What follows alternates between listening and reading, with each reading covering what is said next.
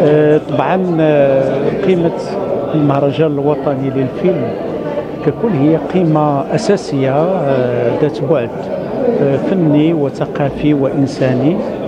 أعتقد بأن متابعة المهرجان الوطني فكرة أساسية ستعطينا طبيعة المشاركات السينمائية التي تم انتقاؤها.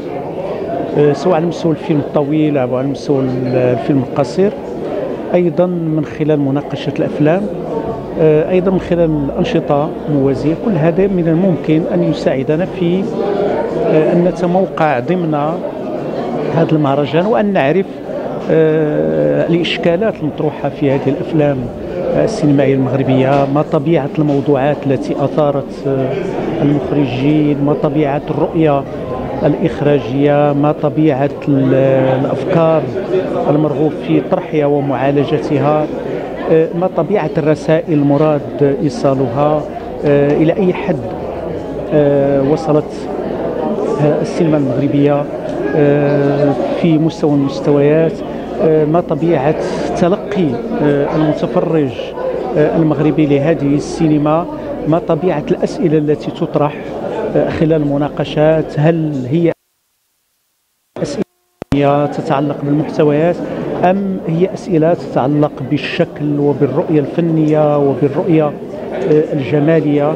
أعتقد بأن هذه فرصة أنا أعتبر المهرجان الوطني آه، للفيلم مثل بين قوسين سوق عكاظ الشعري آه، لأن المهتم والناقد والإعلامي والمخرج الكل من الممكن أن يتفاعل وأن يطرح الأسئلة التي تهمه من زاويته سواء كان باحثا أو إعلاميا أو متفرجا عاديا كيفما كان نوعه.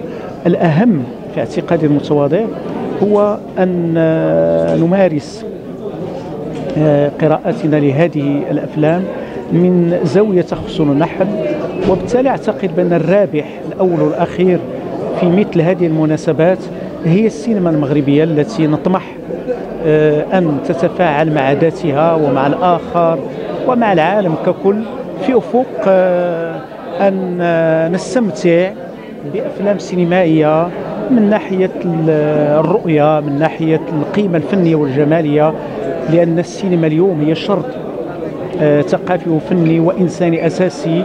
لابد أن تجد السينما آه، أثرها أن تجد مقعدها آه، في آه، منظومتنا التربوية وأن تكون فاعلة على مستوى التلقي فاعلة على مستوى أن تترك أثرا أساسيا لدى جميع الفئات المجتمعية المغربية لأن في نهاية المطاف السينما هي رؤية للذات وللآخر وللعالم وللكون ككل.